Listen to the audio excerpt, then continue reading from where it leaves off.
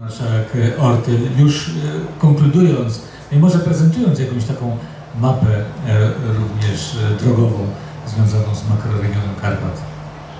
Czy proszę Państwa, znajdujemy się w takim towarzystwie, no, przynajmniej my jako tutaj paneliści e, samorządowo-biznesowym. Ja mogę powiedzieć, że no, dla mnie, dla, jako przedstawiciela samorządu chciałbym mieć taką możliwość i też, też żeby tak instrumentalnie środki europejskie działały, że jeżeli realizujemy inwestycje na terenie górskim, a Karpaty są górami, a, ten teren jest trudny do realizacji wszelkich inwestycji.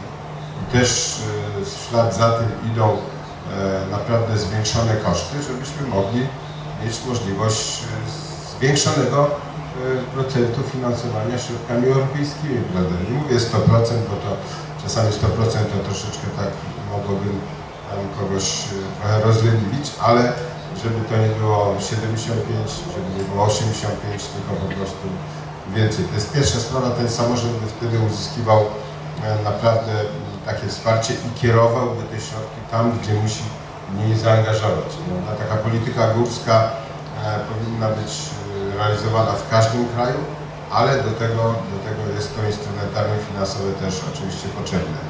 No a dla przedsiębiorców, e, proszę Państwa, mm, e, wszyscy wiemy, że Komisja Europejska przynajmniej nas, ale myślę też i Słowację e, no, przymusza do tego, żeby jak najmniejszym stopniu mm, odchodzić od dotacji bezzwrotnych dla przedsiębiorców. A my to rozumiemy, że to jest czas i kolej, że z każdą perspektywą będzie tych dotacji coraz mniej, ale wywalczmy to, żeby można było je zachować na przykład w Karpatach.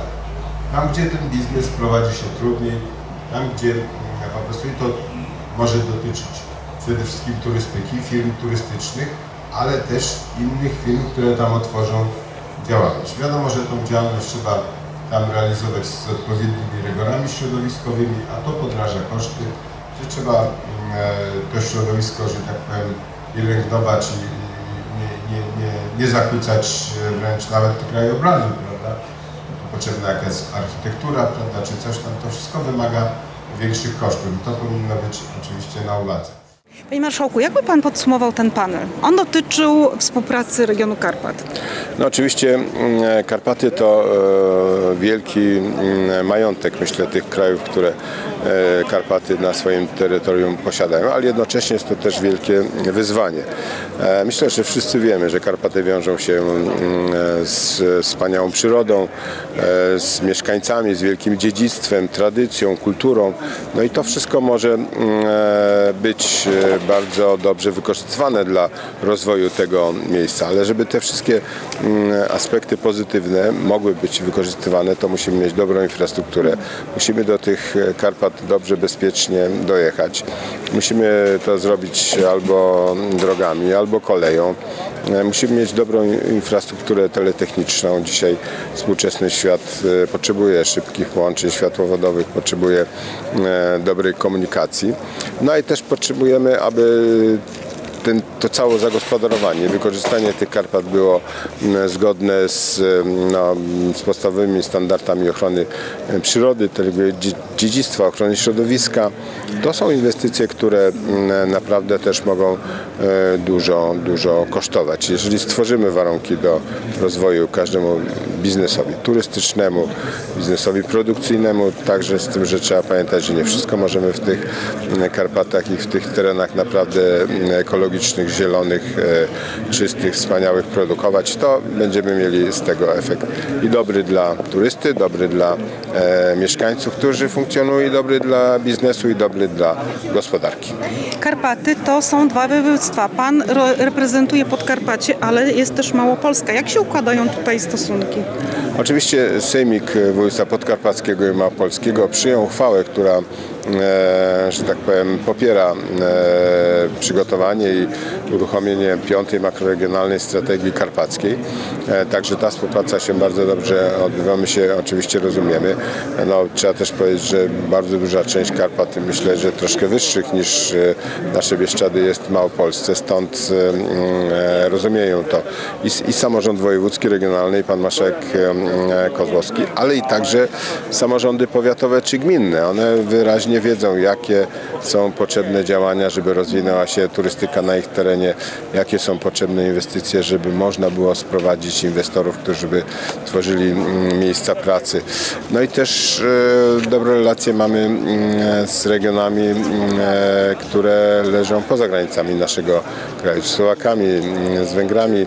E, Myślę, że też e, bardzo dobrze rozumiemy się z regionami samorządami rumuńskimi, chociaż tutaj jest sceptyczny rząd Rumunii, jeżeli chodzi o tą piątą makroregionalną strategię. Także mm, samorządy no, mają w sobie dużo energii, dużo kompetencji. Myślę, że to udowodniliśmy mm, w momencie, kiedy zajmowaliśmy się pandemią mm, i także kiedy zajmowaliśmy się uchodźcami. Także tu też tą rzecz potrafimy, myślę, dobrze wykorzystać. To był właśnie ciężki okres, y, właśnie jak y, rozpoczęła się ta wojna na Ukrainie, bo wy bezpośrednio sąsiadujecie tutaj wo- województwo z, z, z Ukrainą. No byliśmy województwem recepcyjnym Pierwszym, my tak. i województwo Wszędzie. lubelskie, mm, więc wszyscy, którzy trafiali do naszego kraju, przechodzili przez e, przejścia graniczne naszego województwa. Mm, W sumie, jak liczymy do września, w skali kraju to było ponad 10 milionów e, kobiet z dziećmi, osób starszych, często mm, też e, z różnymi dolegliwościami. E, To z tych 10 milionów 6 milionów trafiło przez Podkarpacie i później stąd te osoby dalej jechały do Małopolski, na przykład e, różnego rodzaju pociągami, transferami. I tutaj też współpracowaliśmy, współpracowaliśmy z panem marszałkiem Kozłowskim w tym względzie albo do innych części naszego, naszego, naszego kraju, bądź to za granicę. No, wiadomo, że mm, wybierali miejsca można powiedzieć atrakcyjne gospodarczo, prawda? Bardzo wszyscy chcieli jechać do Warszawy, do Krakowa, także e, na Śląsk, do, do, do Wrocławia, do Poznania, do tych, którzy są bardziej oczywiście rozwinięci gospodarczo, ale dużo osób też w naszym województwie pozostało. Y, Bieszczady to jest piękny region. Mieliśmy okazję w zeszłym roku odwiedzić właśnie Bieszczady. Y, Bardzo rozwija się Solina i ten okręg tutaj y, y, związany dzięki tej kolejce. No ja myślę, że tak. Właśnie takich atrakcji potrzeba mm, no, w naszych Bieszczadach. To jest dowód na to, że wszyscy o tej kolejce mówią, wszyscy tą kolejkę chcą zobaczyć, wszyscy chcą podziwiać, chcą widoki mm, e, bieszczackie no, z trochę wyższego e, poziomu niż z poziomu drogi.